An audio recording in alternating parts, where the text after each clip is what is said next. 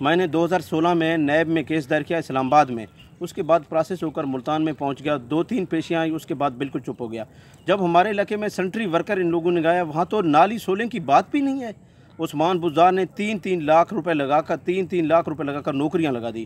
اس موقع میں ایک ہی اسکیم بھی موجود نہیں ہے۔ چیئرمین نیب سے بھی گزارش کرتا ہوں کہ جلد جلد اس کے خلاف ایکشن لیں۔ میں عمران خان سے بھی گزارش کرتا ہوں۔ وزیر اعظم منتخب ہو کر نیا پاکستان۔ ایسے وزیر اعظم سے میں وزیر اعلیٰ سے بچائیں کہ ملک کا کرپشن کا خاتمہ کریں، کیونکہ یہ تو کرپشن کا جڑ ہے۔ یہ دو ہزار دو سے لے کر دو ہزار تیرہ تک یہی کھا رہے ہیں۔ اس کا والد صاحب ایکس ایم پی اے تین بار ممبر اسمبلی، پنجاب اسمبلی رہ چکا ہے۔ سن انیس سو اٹھانوے میں انہوں نے چھ قتل کیے ہیں۔ اس کے ایف آئی آر میں نامینیٹ عثمان بزار ملزم بھی ہے اور فتح محمد بھی کی نام ہے اور سرکل ڈی ایس پی جمع دار ہے۔ عثمان بزار اس کا بھی نام ہے۔